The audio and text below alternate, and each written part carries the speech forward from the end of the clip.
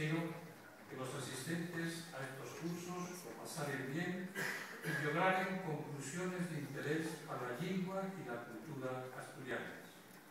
Piénselle oficialmente los cursos de la Universidad Asturiana de Moreno na su primer edición. Muchas gracias a todos y a todas por la vuestra asistencia.